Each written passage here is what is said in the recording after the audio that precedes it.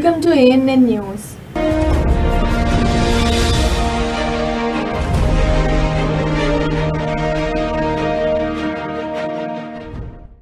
Siddipet జిల్లా నంగునూరు మండల కేంద్రంలో తోకల బండపై వెలిసిన సీతారామచంద్ర స్వామి బ్రహ్మోత్సవాల్లో భాగంగా స్వామివారి కళ్యాణోత్సవం ఆలయ కమిటీ ఆధ్వర్యంలో ఘనంగా నిర్వహించారు. అనంతరం అన్నదాన కార్యక్రమం నిర్వహించారు. ఈ కార్యక్రమానికి సహకరించిన గ్రామస్తులకు యువతకు దాతలకు ఆలయ కమిటీ తరపున ధన్యవాదాలు తెలిపారు. ॐ पावामाजितकं सर्वं विश्वा भूतान्यापप्राणावापपदवापो नमावोमुतमावक्षं दावावोगदावावत्पराणावत्सं दायुष्यावोस्यादिगुष्यावयोगुष्यमावसत्यमावसर्वा देवता आपो भोरभवत्वरा भवान् जन्मिजं समर्पयामि वदारिकस्नानम्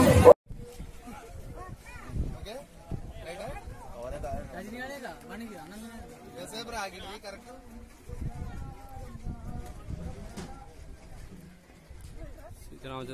సూర్యాపేట జిల్లా చింతలపాలెం మండల కేంద్ర తహసీల్దార్ కార్యాలయంలో వీఆర్ఓ జిలానీ పాషా అతని కుమారుడు భాష అవకతవకలు అన్ని ఇన్ని కావు. ఉద్యోగం ఒకరిది విధులు నిర్వహించేవారు మరొకరు.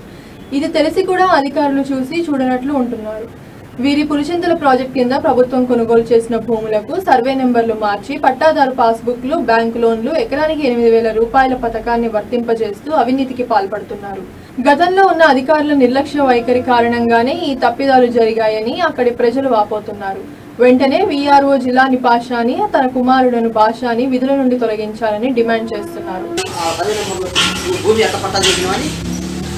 వాడు వచ్చి అప్లికేషన్ పెట్టిండు నా పడనోడు పడనోడు అన్నప్పుడు మరి నువ్వు భూమి లేదు నాకు భూమి లేదు నువ్వు నాకు పట్టా ఎట్లా చేసినావు? నాకు డబ్బు తీసుకుని పట్టా చేసినావు. పట్టా చేసుకున్నావు ఒలివి వచ్చింది కంప్యూటర్ పానీ వచ్చింది. నేను బ్యాంకులో పోయి లోన్ తెచ్చుకున్నా. తెచ్చుకున్న తర్వాత నువ్వు మోడీ పథకం కేసీఆర్ పథకం రైతు బంధు వచ్చిందిగా. రైతు బంధు పథకానికి నువ్వు నాకు నాకు ఒలి రావట్లేదు కంప్యూటర్ పానీ రావట్లేదు. ఎందుకు రావట్లేదు ఏంటంటే మేము రోజు అప్పుడు అప్లికేషన్ పెట్టాను. వాళ్ళ మీద నేను కూడా పెడతాను. తీసేస్తావా? నీకు తీసేది ఏమన్నా ఉందా? పట్టా చేసింది నువ్వే. మళ్ళీ తీసేసింది నువ్వే. అని అంటే సంవత్సరం చూసినాం ఏం అసలు మాకు లెక్క చేయట్లేదు లెక్క చేయకపోతే ఏం చేస్తాడండి ఇప్పుడు డబ్బు డబ్బులు పోయినా ఇటు మీరు వ్యాపారం కాదు కదా, రైతులు ఎండకనక వాననక కష్టం చేసుకునే వాళ్ళు. రైతు కడుపు మ- చింతగాల నా పేరు వెంకటరెడ్డి గారు. మా జిలాని గారు రెండు వేల నాలుగులో రెండు ఎకరాల తొమ్మిది గుంటలు ఉంటే దానికి ఈఆర్ఓ జిలాని గారు రెండు ఎకరాల తొమ్మిది కుంటలకి నాలుగు రెండు ఎకరాల నాలుగు కుంటలు చేసి ఏందని అడిగితే దానికి సమాధానం లేకుండా నేను కేసీఆర్ చెప్పిన ప్రకారంగా సర్వేలో దరఖాస్తు కూడా పెట్టిన. దాన్ని కూడా ఇది కాకుండా చేసిండు. అది రెండు వేల ఏడు వేల ఏడు వందల నాలుగులో ఉన్న సర్వే నెంబర్ని రెండు ఎకరాల తొమ్మిది కుంటలు ఉంటే అది ఆరు ఎకరాలు చేశాడండి. దానికి సంబంధించిన విషయం ఏంటంటే నేను తహసీల్దార్ అడిగితే ఏమయ్యా ఇవాళ నువ్వు కాసల పైన చూసినవా లేదంటే చూసిన చూశాత సజాత అన్నాడు. అది చెక్కులు వచ్చిన తర్వాత అయితే నాకు వచ్చిందేమో రెండు ఎకరాల నాలుగు గుంటలకు వస్తే ఇతర వాళ్ళకి కూడా రెండు రెండు నాలుగు ఎకరాలకు కూడా ఇట్లా చెక్కులు ఇచ్చి ఇచ్చేసిండు. అదే ఏడు వందల ఆరులో ఉన్నది నాలుగు ఎకరాలు అయితే దాన్ని ఎనిమిది ఎకరాల చెక్కులు కూడా ఇచ్చిండండి. ఒకసారి ఆలోచించి మీరు మాకు సహకారాలు చేయాలా? సర్వే మటుకు సమగ్రంగా జరగలేదు. ఇయ్యాలో చాలా డబ్బులు తీసుకోవడం లంచాలకు మరికి మమ్మల్ని కేర్లెస్ చేస్తాడు. భూమి అనద తండ్రి తాతలు చచ్చినటువంటి భూమి మాకు పౌతి చేయమంటే భూమి ఆడుందా అని ఆయన కొడుకు అడుగుతుండు. ఇతనేమో పైకి చూస్తాడు. కాబట్టి మీరు చాలా నిర్ణయాలు తీసుకొని ఒకసారి మమ్మల్ని కూడా ఎదురుగా పిలిచి అడిగి చదవండి మా దగ్గర బ్రాహ్మణ పొలాలు వందల ఎకరాలు కౌలుదారు చట్టం కింద ఇచ్చారు సీలింగ్ కింద భూములు ఇచ్చారు. అటువంటి భూములు వాళ్ళవి ఇరవై ఐదు ఎకరాలు పది ఎకరాలు ముప్పై ఎకరాలు ఉంటే వాళ్ళని మార్చాలంటే ఈఆర్ఓ కొడుకు అడుగుతుండు కదా. ఈఆర్ఓ మరి ఈఆర్ఓ కొడుకు మాకు తెలియదు భాష గారు ఆ భూమి ఆడున్నది అడుగుతుండు. భూమి ప్రదేశం మీద ఉంటుందా లేకపోతే నా జోబులో ఉంటుందా అండి ఈ విషయాలు అడుగుతుంటే తండ్రి కొడుకు చేసే దశలో ఎవరైంది మాకు అర్థం కావట్లేదు. దీని గురించి చాలా సీరియస్గా పోతున్నాం. మరి మేము ఏం చేయాలో మాకు అర్థం కావట్లేదండి. ఒకసారిగా నిమగ్నంగా జేసీ గారు కూడా కాగితాల మీద సంతకాలు పెట్టించి పంపించినా కూడా కేర్లెస్ చేస్తానండి ఇంతవరకు మమ్మల్ని దాన్ని పట్టించుకోవట్లేదు. ముప్పై సంవత్సరాల నుంచి వాళ్ళు ఎక్కడో భూమి ఇడిపోయి ఉన్నా కూడా భూమి చూపించమన్నా కూడా భూమిని చూపించారు మళ్ళీ ఇంకా మేము పదో తారీఖు ఐదో తారీఖు మాకు ఎలక్షన్ కోడ్ నెంబర్ ఉంది. కోడ్ నెంబర్ కూడా రెవెన్యూకి సంబంధం ఏముంటుందండి? పౌతిని మార్చడానికి తండ్రి కొడుకులు ఇద్దరు అదే చెప్తాడండి వీఆర్ఓ ఎవరు ఈఆర్ఓ కొడుకే జిలానిగా జిలాని కొడుకే భాషా గారు. ఆయన అన్ని అన్ని విషయాల్లో మాట్లాడుతాడు. మేము ఏం ఇబ్బందులు కావాలా? ఏం చేయాలా? మేము ఒకప్పుడు కూడా పడవరకు చేసినటువంటి వాడిని నేను కూడా కాదంటలా? కానీ ఆ విషయాల్లో చాలా జాగ్రత్తగా జేసీ గారు కానీ ఈ విషయంలో సత్యనారాయణ రెడ్డి గారు పెట్టినటువంటి అప్లికేషన్లు ఉన్నాయి. ఆయన ఇన్సల్ చేసి పంపించినటువంటి ఇంతవరకు మూడు నెలల నుంచి కూడా ఏది కూడా చేయకుండా కూర్చున్నాడు. మూలన్న గారండి సన్నాపల్లి రెడ్డి చింతిరాలండి మాది. చింతిరాల రెవెన్యూ నుంచి మాట్లాడుతున్నాను నేను.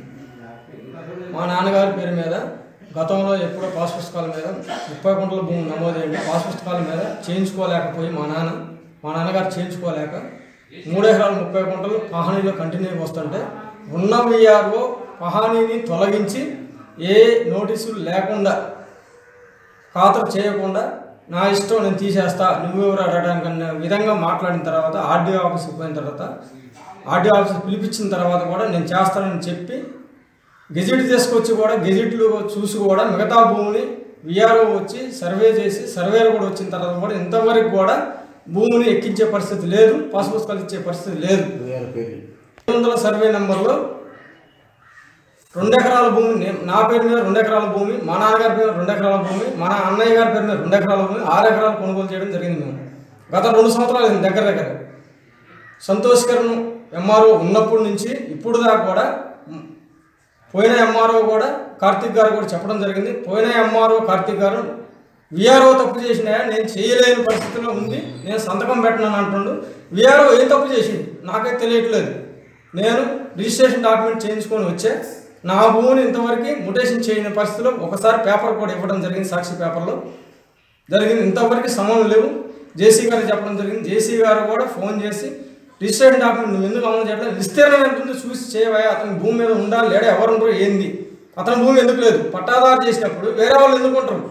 అతనికి ఏం అధికారాలు ఉన్నాయి? అడిగినా కానీ ఇంతవరకు కూడా సమాధానం చెప్పే పరిస్థితుల్లో లేడు. చింతిరాల విఆర్ఓ జిలానీ గారు. ఏం జిలానీ గారు నన్ను అడిగితే మా కొడుకు అడిగిపో నా కొడుకుని అడుగు సమాధానం మొత్తం అబ్బాయి చెబుతున్నా అంటుండు. ఉద్యోగం చేసేది జిలానీ చేస్తుండా పాషా చేస్తుండ పాషా అబ్బాయి పేరు పాష పాషా అంట.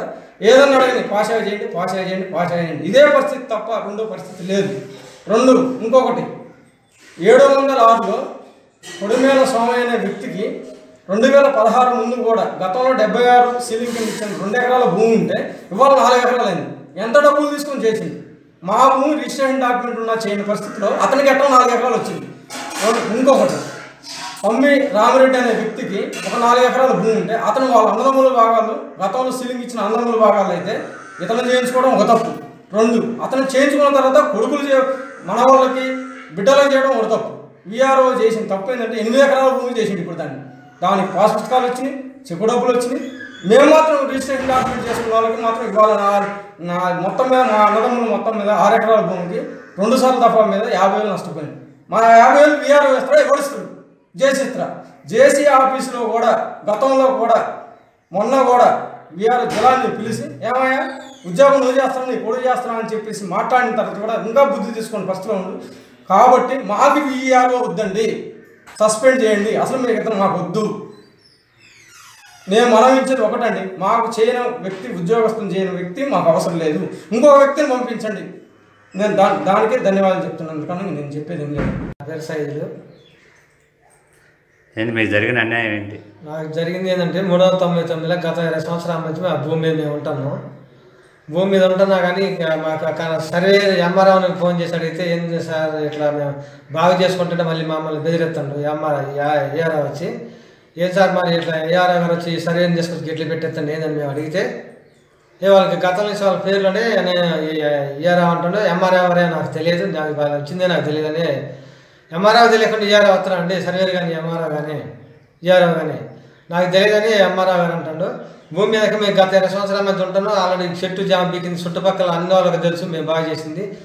చేలు బాగా చేసుకున్నాం. బండలు వాళ్ళు చేసుకొని మేము మట్టి తోలి బండి వేసుకుంటే మమ్మల్ని ఎరుగుడు లేపాలని ఈ దళారులలో కలిసి వాళ్ళు ఇద్దరు ఎక్కువ డబ్బులు ఇస్తారని మేము డబ్బులు ఇట్లేదని వాళ్ళ డబ్బులు వాళ్ళ అభివృద్ధి డబ్బులు వాళ్ళకి మాకేసి పేదవాళ్ళు వేసి మాది వాళ్ళం కాబట్టి ఈ మాది వాళ్ళ డబ్బులు ఇక్కడ చేత కాదని వాళ్ళు డబ్బులు ఇస్తారని వాళ్ళ స్వాధీనం చేయాలని మమ్మల్ని చెప్తున్నారండి.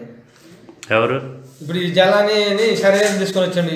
ఏఆర్ఓ గారు శరీరం తీసుకొచ్చి మొత్తం మా మేము బాగా చేసిన దాంట్లో వాళ్ళు వచ్చి గెట్లు పెడతారు. మమ్మల్ని లెక్క చేయకుండా. కొడుకు ఎక్కువ కొడుకు పెత్తనం ఎక్కువ తండ్రి కంటే.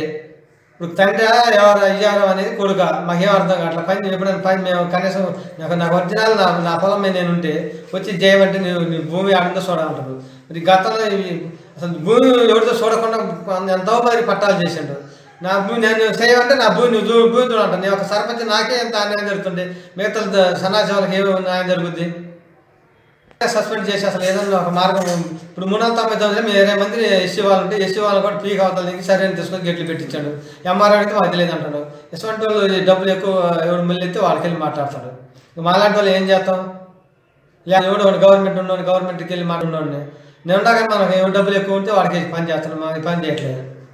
ఏడాది కొద్దిగా చెక్ తీసుకుని ఆ కలెక్టర్ గారి దృష్టిలో పెట్టుకుని ఎమ్మటే సస్పెండ్ చేయాలా? మీకు ఇతర దళితులకి న్యాయం చేయాలని చేకూరుతున్నాను మెదక్ జిల్లా పాపన్నపేట మండలంలో గల శ్రీ ఏడుపాయల వనదుర్గా భవానీ అమ్మవారిని దర్శించుకోవడానికి వివిధ జిల్లాల నుండి భక్తులు తరలివచ్చారు. అమ్మవారి ఆలయ ప్రాంగణం భక్తులతో కిక్కిరిసిపోయింది. ఉదయం నుండే అమ్మవారి దర్శనం కోసం క్యూ లైన్లు భక్తులతో నిండిపోవడంతో దర్శనానికి సమయం పట్టింది. భక్తులు అమ్మవారికి ఒడిబియ్యం బోనాలు సమర్పించుకుని తమ మొక్కులు చెల్లించుకున్నారు. భక్తులకు ఎలాంటి ఇబ్బందులు కలగకుండా ఆలయ చైర్మన్ పట్లోళ్ళ విష్ణువర్ధన్ రెడ్డి ఈఓ మోహన్ రెడ్డి తగిన ఏర్పాట్లు చేశారు.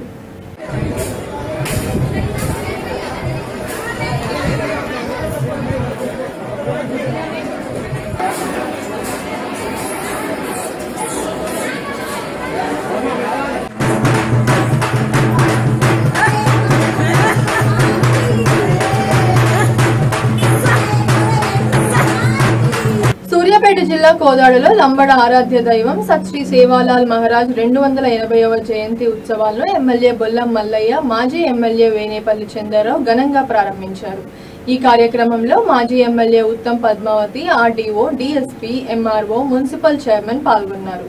ఈ సందర్భంగా లంబడ రాష్ట్ర జిల్లా నాయకులు మాట్లాడుతూ టీఆర్ఎస్ ప్రభుత్వం సేవాలాల్ కార్యక్రమానికి సహకరించడం ఎంతో ఆనందంగా ఉందని ముఖ్యమంత్రి కేసీఆర్కు కృతజ్ఞతలు తెలియజేశారు.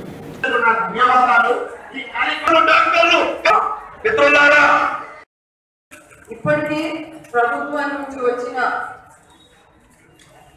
రిజర్వేషన్స్లో భాగంగా ప్రభుత్వం నుంచి వచ్చిన అన్ని స్కీమ్స్ మీరు వాడి మీరు తమ తమ జీవితాలను బాగు చేసుకోవాలి.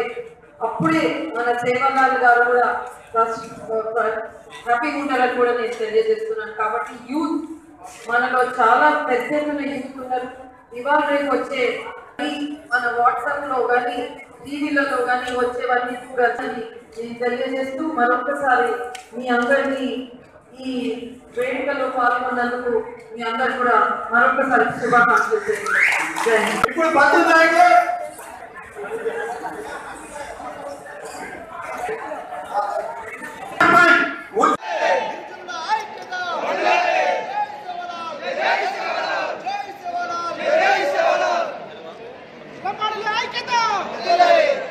సూర్యాపేట జిల్లా పెద్దగట్టు జాతరలో భాగంగా రెండో రోజు రాష్ట్ర విద్యాశాఖ మంత్రి జి. జగదీష్ రెడ్డి రాజ్యసభ సభ్యుడు లింగయ్య యాదవ్ తుంగతుర్తి కోదాడ ఎమ్మెల్యేలు యాదరి కిషోర్ బొల్లం మల్లయ్య యాదవ్ లింగవంతుల స్వామిని దర్శించుకున్నారు.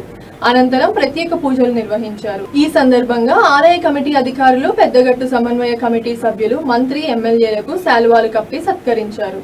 ఈ సందర్భంగా మంత్రి మాట్లాడుతూ ఐదు రోజుల పాటు వైభవంగా జరగనున్న జాతరలో భక్తులకు సకల సౌకర్యాలు కల్పించాలని అధికారులకు సూచించారు.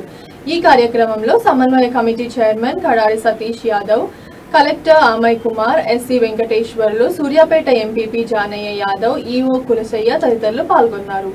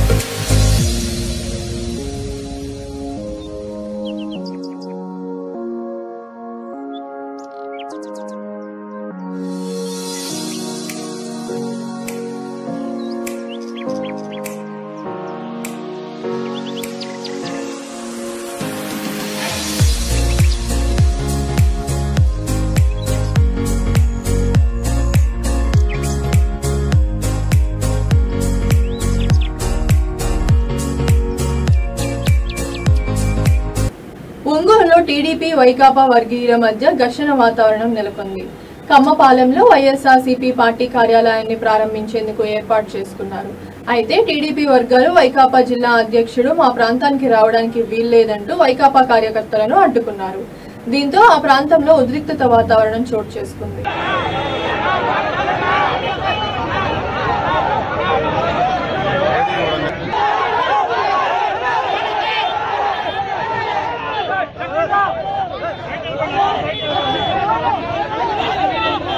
కొంతమంది విద్యార్థులు వైసీపీకి ఓట్లు వేస్తారని అనుమానం ఉన్న వారి ఓట్లను తొలగించే ప్రయత్నం చేస్తున్న వారిని వైసీపీ నేతలు అదుపులోకి తీసుకుని పోలీసులకు అప్పగించారు.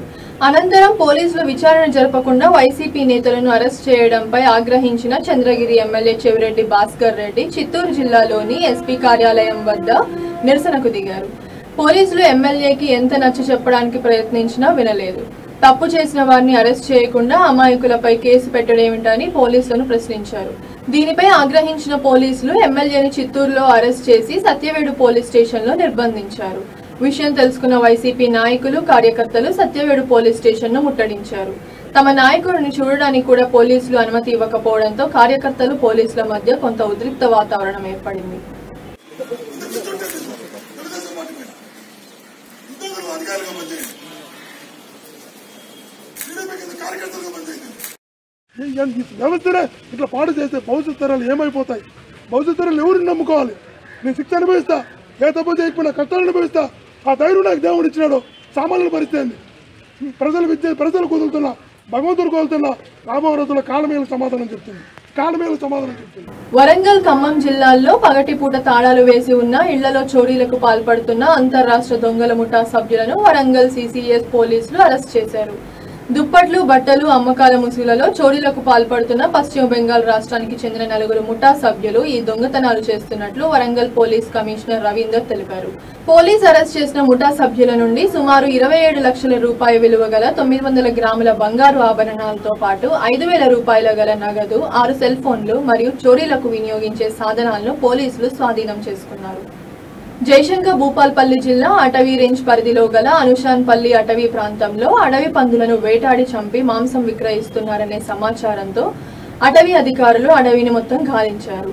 ఈ విషయాన్ని గమనించిన వేటగాళ్ళు సంఘటనా స్థలం నుండి పారిపోయారు. ఘటనా స్థలంలో అడవి పంది మాంసం బ్రతికి ఉన్న పందిని అటవీ అధికారులు స్వాధీనం చేసుకుని దర్యాప్తు చేస్తున్నారు. ఈ జంతువులను వేటాడి మాంసాన్ని విక్రయిస్తున్న నిందితులను పట్టుకొని వారికి శిక్ష పడేలా చేస్తామని అధికారులు చెబుతున్నారు.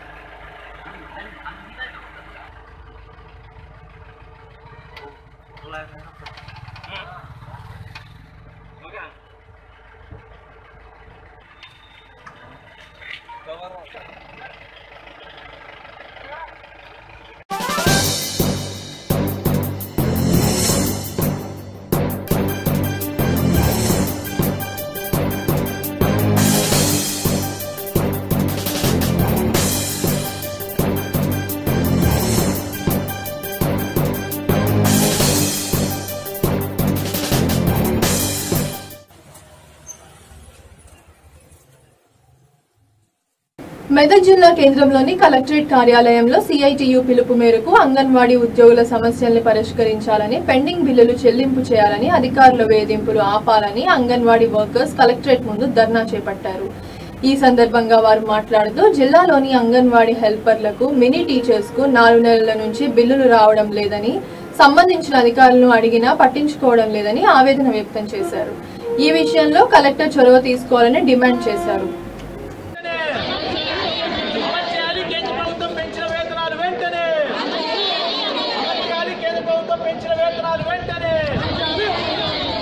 ఈరోజు రాష్ట్ర వ్యాప్త పిలుపులో భాగంగా మెదక్ జిల్లా కలెక్టరేట్ దగ్గర అంగన్వాడీ యూనియన్ ఆధ్వర్యంలో సమస్యలపైన ఈరోజు ధర్నా చేయడం జరుగుతూ ఉంది.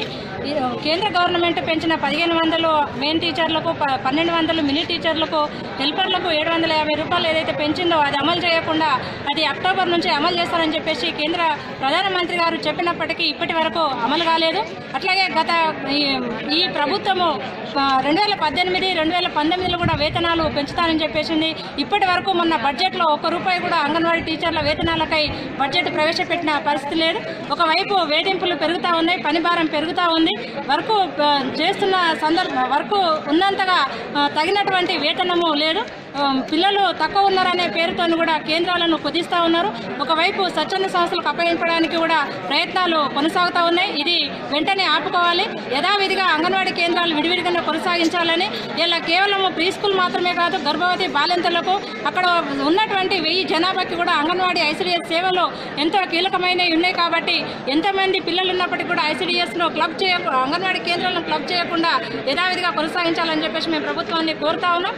అట్లాగే ప్రభు అధికారులు చిన్న చిన్న తప్పులకి మెమోలు ఇవ్వకుండా సరిచేయాలని చెప్పేసి కూడా మేము కోరుతూ ఈ కక్ష సాధింపు చర్యలను కంట్రోల్ చేయాలని చెప్పేసి కూడా మేము అధికారులను మేము ఈ ఈ వైపు నుంచి డిమాండ్ చేస్తా ఉన్నాం. మెదక్ పట్టణంలోని ఆజంపురా కాలనీలో డాక్టర్ రామ్ వద్దకు పాపన్నపేట మండలం కొత్తపల్లి గ్రామానికి చెందిన మహమ్మద్ అహ్మద్ హుసేన్ భార్య ఫిజియోథెరపీ చికిత్స నిమిత్తం గత నాలుగైదు రోజులుగా వస్తుంది. అయితే యథావిధిగా చికిత్స కోసం వెళ్ళిన మహిళతో డాక్టర్ అసభ్యకరంగా ప్రవర్తించడంతో ఆ మహిళ క్లినిక్ నుంచి ఇంటికి వెళ్ళింది. జరిగిన విషయాన్ని భర్తకు ఫోన్ ద్వారా తెలపడంతో సదరు కుటుంబీకులు పందులతో కలిసి హాస్పిటల్ ముందు ఆందోళనకు దిగారు.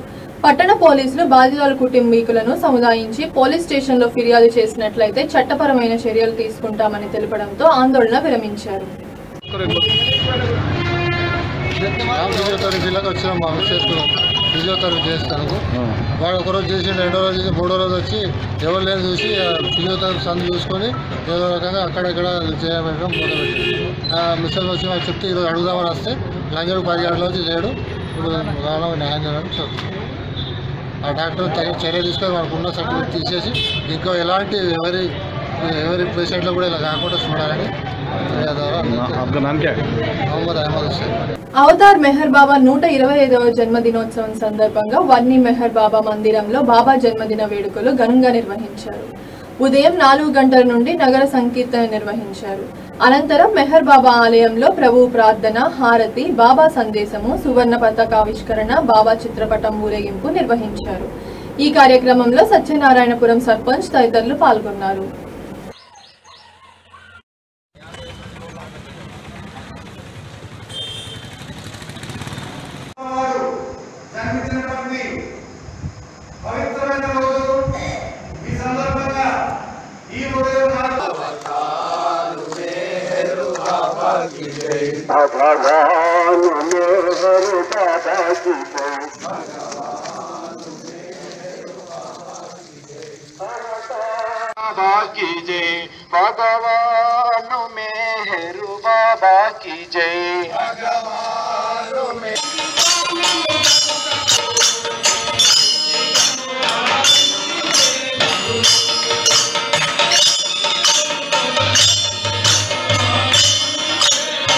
मेहर बाबा की जय। अवतार मेहर बाबा की जय। अवतार मेहर बाबा की जय। अवतार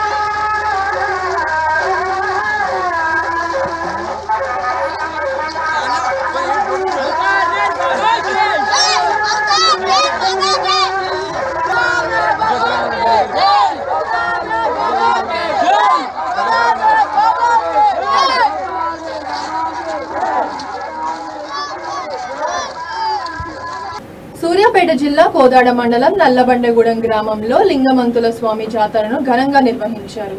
ఈ కార్యక్రమంలో గ్రామ పెద్దలు భక్తులు ఉత్సాహంగా పాల్గొని మొక్కలను చెల్లించుకున్నారు. యువకులు కబడ్డీ పోటీలు యువతులు కోలాట ప్రదర్శనతో గ్రామం కోలాహలంగా మారింది.